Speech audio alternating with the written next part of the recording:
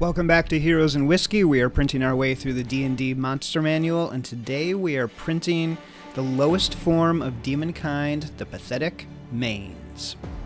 Now, if you want to go down the D&D rabbit hole, uh, do a Google search for how do you pronounce Manes? Is it Manes? Is it Manus? Is it Manus?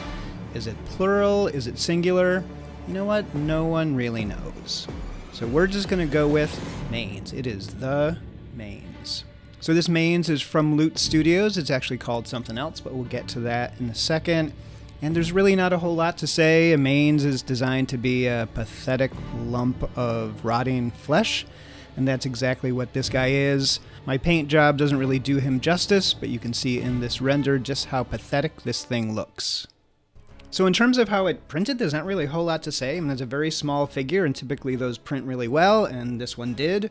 Uh, the spikes on his back are, you know, they're quite sharp, and so the details really came out. Again, my paint job, I think, kind of ruined it. So this guy's from Loot Studios. He's part of the Nightmares of the Abyss set that we got back when we were looking at Orcus. Uh, they actually call him a Caphetyn, probably because they're not sure if mains is plural or singular either.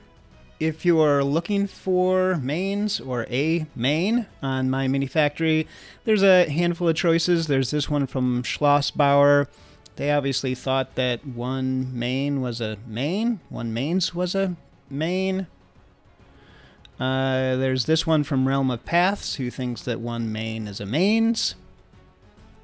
And then Epic Miniatures makes three of them. this one, this one is my favorite. The mains eating guts, although they, they also think that one main is a main. But if you need a main multi-pack, you can get one from Epic Miniatures.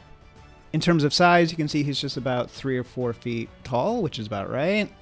So in terms of resources, because he's part of that set uh, from Loot Studios, did not cost us any extra. Uh, he's small, and so we printed him alongside some other figures, and so our total cost is still at $412, and our total time is at eight and a half days. So if you need something uh, pathetic and lumpy, uh, this is your go-to guy. If you need a multi-main set, I would check out that one from Epic Miniatures. Uh, next up, we'll be looking at the six-armed serpent demon, the Marilith.